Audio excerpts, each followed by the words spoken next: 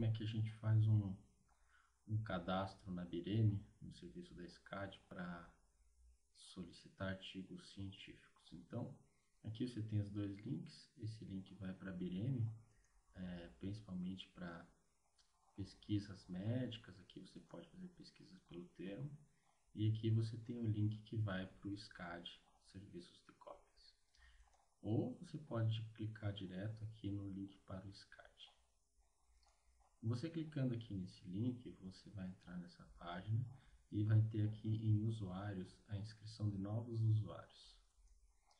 Na inscrição de novos usuários, você vai ter é, a explicação de que é um serviço pago, aqui se vocês lerem tem o preço de cada artigo, é, os regulamentos e aqui as inscrições, que pode ser de uma pessoa física ou de uma pessoa jurídica. Então, clicando aqui na inscrição de pessoa física, você vai preencher um formulário com nome, área de atuação, especialidade, endereço. E também você vai dar um e-mail e senha uh, que vão servir para você ter acesso ao serviço. Depois você vai aceitar isso aqui e vai chegar no seu e-mail um código que é o código que você vai usar como login uh, para entrar no, no serviço de fotocópias.